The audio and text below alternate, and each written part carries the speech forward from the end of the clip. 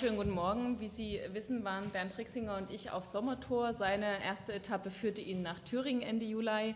Am 10. August äh, gab es dann die Staffelstabübergabe in Hannover. Diese Übergabe war verbunden mit einer Aktion äh, für den Mindestlohn. Wir haben da ähm, uns stark gemacht unter dem Motto, Ihnen einen schönen Urlaub und der Kellnerin einen guten Lohn. Und äh, meine Sommertour fand nun gestern ihren krönten Abschluss in Berlin. Ein Schwerpunkt dieser Tour war die Kommunalpolitik. Also in Sachsen-Anhalt beispielsweise wurde uns nochmal sehr anschaulich äh, vor Augen geführt, dass 70 Prozent aller Kommunen finanziell in einer höchst brisanten Situation sind. Und ähm, ich selber habe in Eisenhüttenstadt ähm, zum Beispiel erfahren, dass eine Kommune, die einmal in der Haushaltssanierung ist, ähm, selbst so notwendige äh, Maßnahmen, Investitionen wie für ein Energiecontracting ähm, nicht durchführen kann. Und das heißt, äh, sie können keine Investitionen vornehmen, die über, die, über einen gewissen Zeitraum sogar am Ende Strompreise sparen würden, ähm, was ja eine verrückte Sache ist. Und es ist sehr auffällig, die Kommunen müssen finanziell das ausbaden, was im Bund an couragierter Reichenbesteuerung unterlassen wird. Also wir haben ja aktuell überhaupt eine Debatte um die Reichenbesteuerung und äh, da gibt es auch ähm, viel Abwehr und viele Vorstoße. Und ich will nochmal zusammenfassen, die Linke hat hier eine sehr klare Position. Wir sagen, wir wollen eine Vermögenssteuer für Millionäre und zwar von 5 Prozent über jeden Euro, den jemand über eine Million hat. Und wir wollen eine Besteuerung von ähm, Einkommensmillionären, ähm, 75 Prozent ähm, ab dem Betrag von einer Million. Ich selber habe ja einen sehr weitreichenden Vorschlag gemacht, da gab es erst viel Abwehr, aber man muss jetzt auch mal schauen, dass ähm, das, was hier für ganz viel Furore sorgt, in Frankreich von Hollande ähm, jetzt ähm, zum Gesetz gemacht wird. Also in Frankreich ist ja bereits eine 75-prozentige Steuer ähm, im Gesetzesverfahren und auch in Staatsbetrieben ist eine Art ähm, Höchstlohn eingeführt worden. Ich habe gestern in Berlin ähm, Initiativen besucht wie Paula Panke und Förderband. Das sind ähm, beides ähm, Initiativen, wo es ähm, Stellen des öffentlichen Beschäftigungssektors gab und musste dort nochmal feststellen, dass leider das Ende von Rot-Rot in Berlin auch das Ende des öffentlichen Beschäftigungssektors bedeutet. Und ähm, da muss man sagen, dass ähm, durch das ja, Ende des äh, ÖBS auch ganz großartige Projekte eingestellt werden mussten. Um nur mal ein Beispiel zu nennen, Paula Panke, ein Frauenzentrum, hatte eine zeitgemäße Form der Kinderbetreuung ermittelt. Also das sind Frauen, die ähm, denen es sehr schwer gefallen ist, einen Arbeitsplatz zu finden, Frauen über 50 ähm, zum, ähm, zum Beispiel, ähm, die haben, ähm, sind dort in Familien gegangen und haben außerhalb der klassischen Kita-Öffnungszeiten Kinder betreut. Das ähm, gibt es einen großen Bedarf dafür in Berlin, unter anderem, weil es in Berlin ähm, auch viele gibt, die im Kreativbereich tätig sind oder Leute, die zugezogen sind, wo halt Oma und Opa nicht ähm, direkt um die Ecke wohnen. Und insofern war das eine wichtige Sache, hat äh, den ÖBSlerinnen ähm, ähm, sehr gut get, ähm, getan und ähm, in Freude bereitet. Und es war für die jungen Frauen ähm, auch eine Möglichkeit, weiter einer Berufstätigkeit nachzugehen. Das musste jetzt eingestellt werden mit dem Ende des ÖBS.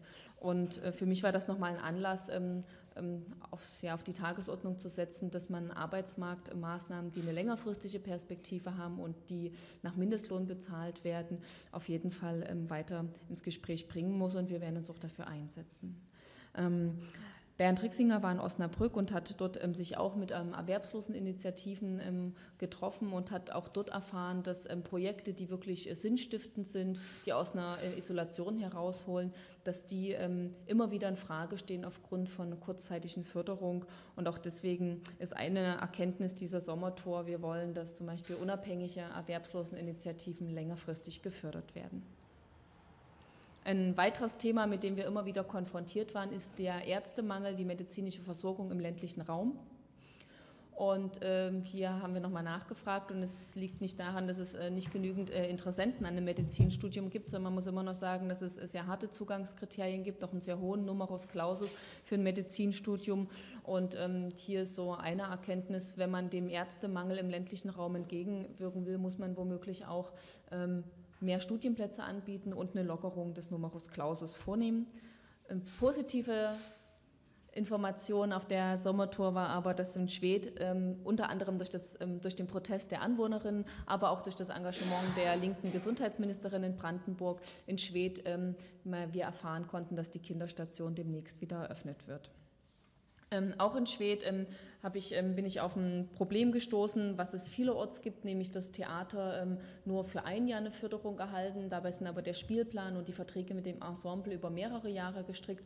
Und es war für mich Anlass, ähm, einen Brief zu schreiben an die Brandenburger ähm, Kulturministerin Sabine Kunst, wo ich äh, sie bitte, diese Form der Förderung zu überprüfen.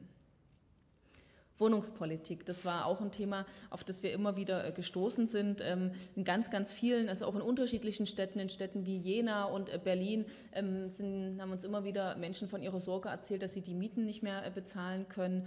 Ähm, und ich bin in Eisenhüttenstadt auf ein Problem gestoßen mit einem Gespräch mit einem Wohnungsunternehmen, die sagen, die Altschuldenregelung belastet richtig ostdeutsche Wohnungsunternehmen, um das mal an einem Beispiel zu verdeutlichen. In ähm, Eisenhüttenstadt ist pro ähm, Quadratmeter in dem ähm, ostdeutschen Wohnungsunternehmen ähm, sind 60 Prozent äh, der Miete ähm, gehen allein auf Altschulden zurück. Also man muss auch sagen, ähm, die jetzige Altschuldenregelung treibt äh, die Mieten bei ostdeutschen Wohnungsunternehmen nach oben. Deswegen ist für uns ganz klar, wir werden uns auf Bundesebene dafür einsetzen, dass es einen Schuldenschnitt gibt, und zwar für einen Schuldenschnitt bei den Altschulden der ostdeutschen äh, Wohnungsunternehmen. Und natürlich setzen wir uns für eine gesetzliche Mietobergrenze ein.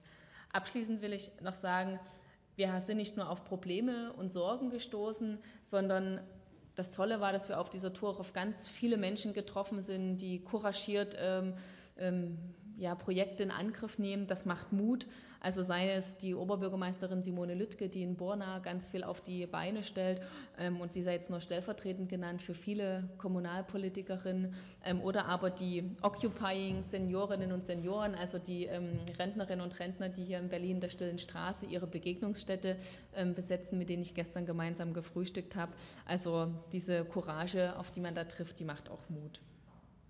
Soweit zur Sommertour. Ich möchte noch aktuell ähm, zu zwei, ja, noch zu zwei aktuellen Dingen etwas sagen. Und zwar zum einen ist heute ein trauriger Jahrestag, 20 Jahre Lichtenhagen, Rostock-Lichtenhagen. Ich habe mich auch während der Sommertour äh, mit dem Vertreterin des Bündnisses Bund Stadt Braun ähm, getroffen. Und ich finde, dieser Jahrestag sollte für uns Anlass sein, uns zu fragen, ähm, sind, haben wir inzwischen den menschenwürdigen Umgang mit Flüchtlingen? Und ähm, was muss man tun, um, eine, ja, um Rassismus, der bis weit in die Gesellschaft, bis weit in die Mitte der Gesellschaft äh, verbreitet ist, entgegenzuwirken?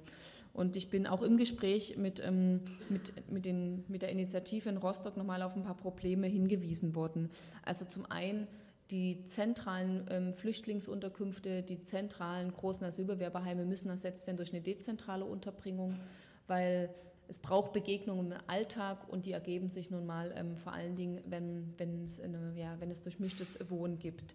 Zum Zweiten braucht es mehr Deutschkurse und das Arbeitsverbot für Asylbewerberinnen und Asylbewerber muss fallen. Und ich denke, das, was inzwischen in Brandenburg unter Rot-Rot eingeführt worden ist, ähm, das, was in Mecklenburg vor einem Jahr eingeführt worden ist, nämlich die Abschaffung der Residenzpflicht, ist eine ganz zentrale Sache.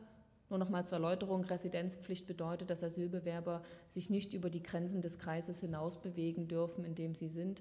Das heißt zum Beispiel in einer Stadt wie Dresden, wer am Stadtrand von Dresden ist und aber dort noch dem Kreis Pirna zugeschrieben ist, darf nicht nach Dresden reinfahren. Auch das ist alles andere als förderlich äh, für eine Begegnung im Alltag.